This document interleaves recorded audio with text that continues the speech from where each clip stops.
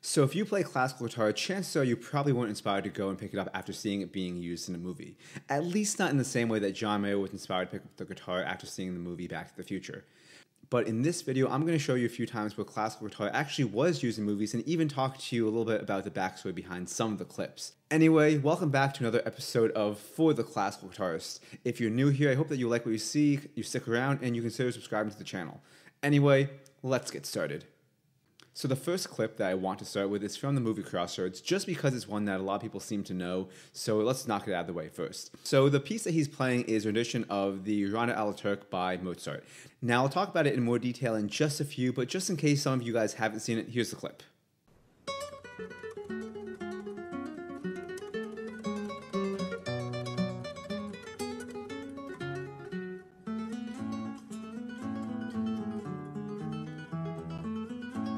Now, as you might notice, a lot of these shots are taken from, um, yeah, they're taken from pretty far away. So if you think about it, it makes it pretty easy to hide someone that doesn't know how to play guitar that well. But what about some of these? Now, this piece actually isn't commonly done on classical guitar, and there's really only one arrangement out there that I know that's pretty common, and that would be the arrangement by Bill Kanengiser.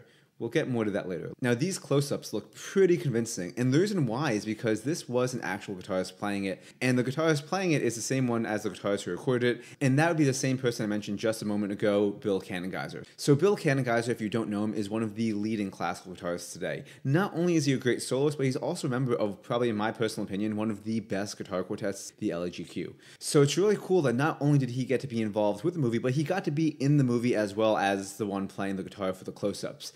It's a great way for people that haven't ever heard classical guitar to hear a very good example of classical guitar.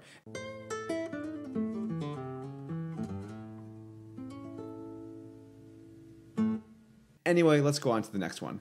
So this next one is a little bit more modern. I actually didn't know about it until somebody told me about it over on Instagram. And that movie would be A Christmas Prince, A Royal Wedding. Now, the clip in here is very, very short, but I did want to include it because this one, like I said, is a more modern movie. It only came out in 2018. So it's great that in even these more modern movies, we're still seeing classical guitar being used. Anyway, let's check the clip out quickly and I'll tell you a little bit of the backstory I know.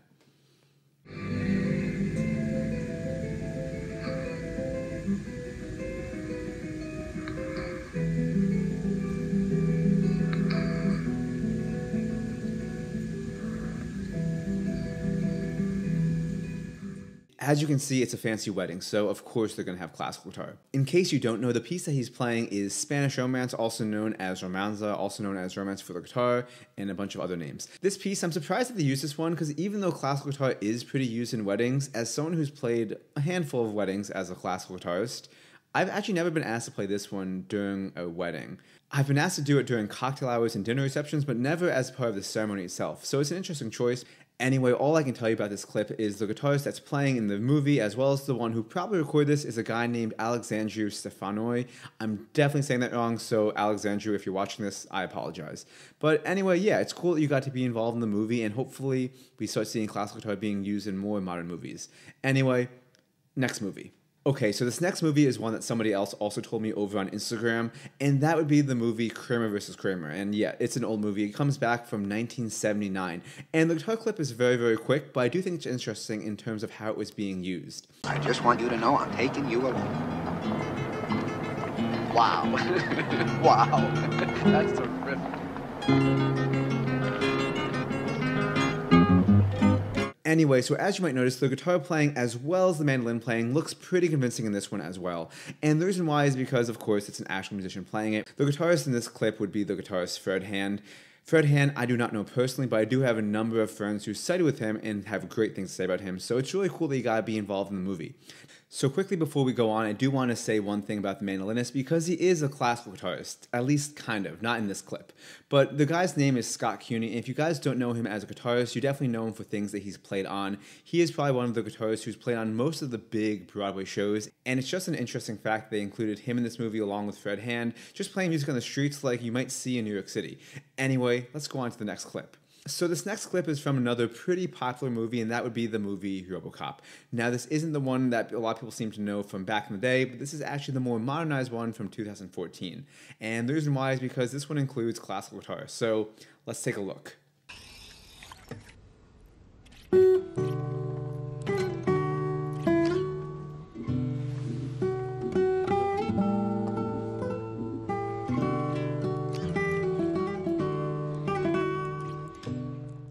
Okay, so the first thing I'll say is, yeah, definitely an interesting piece selection. Of course, it's the Concerto de Aranjuez, the second movement. Concerto de Aranjuez, second movement.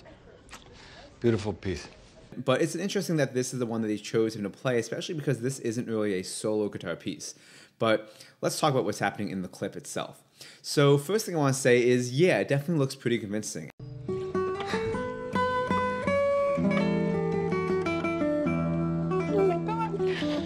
But the reason why it's convincing is besides all that cool CGI and stuff that makes his hand look like a robot, it is a real person playing this, obviously, and it is a classical guitarist playing it.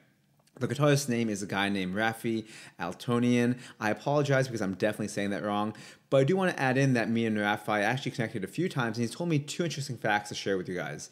Number one is that when they were filming this, they actually insisted on having a live classical guitarist play this as opposed to just using a recording and having some actor dub it. So that's pretty cool, and that's obviously the reason why he was brought in to play this clip. And the other thing that he said is apparently they chose this piece in particular because it's actually serving as a love letter as well as a dedication, I guess, to the director's wife because this was her favorite piece. So it's pretty cool that someone who doesn't play classical guitar, one of their favorite pieces of music is from the classical guitar repertoire. So this final one, if you guys didn't guess it already from the thumbnail, this one is from the movie School of Rock. Now, I do want to say a few things before we start. This movie was definitely one of the movies that I first saw classical guitar in, so I'd almost want to say it was kind of like my Back to the Future, but not really. Anyway, let's see the clip and then I'll tell you what I think about it.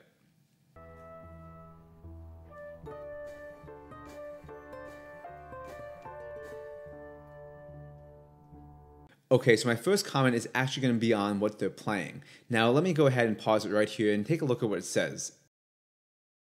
If you can see what it says, it says Concerto de Aranjuez, which should be the same thing as the one they were playing in Robocop, but it sounds a bit different.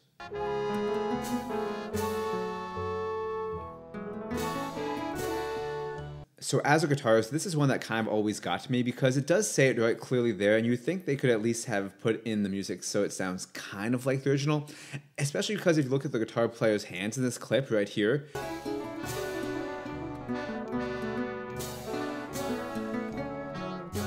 you can tell it's not him playing. You know, it's not the end of the world, but it is kind of disappointing that this one movie is one of the few that was really centered around music as a whole. And the one time they showed classical guitar, they showed something that most classical guitarists wouldn't recognize.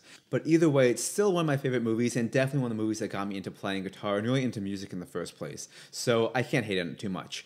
Anyway, that's all for this video. Hope you guys like what you saw and hope that you guys got something out of this. If you guys have other movie suggestions that use classical guitar in the movies, definitely feel free to drop them down below.